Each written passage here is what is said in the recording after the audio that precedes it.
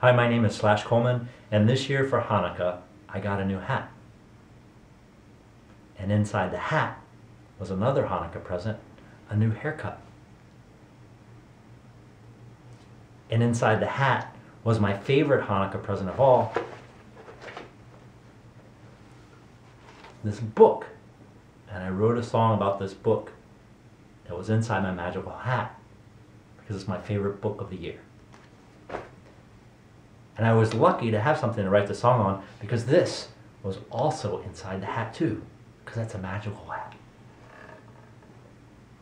A lilac flavored ukulele. This is how the song goes.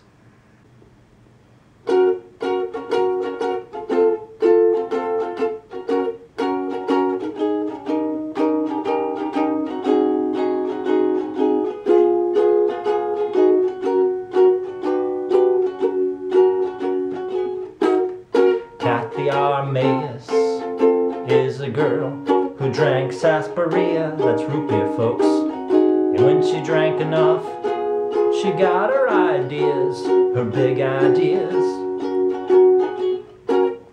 Late at night, she got an idea. By her laptop light, she thought, this idea, it might change the world, the big old world.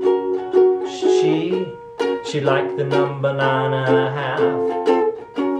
The other numbers made her laugh, and so she wrote a book about it too, called The Nine and a Half Ways to Get People to Love You. It's the unbreakable rules for us marketing fools, looking for the true sunrise. Everybody's looking for the true sunrise. I know that I am.